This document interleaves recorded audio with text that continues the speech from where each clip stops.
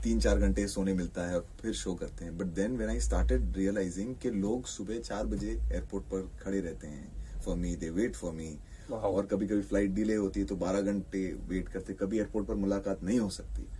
Because of the गाना है सुबह घर जाना है तूने कैसा जादू है किया।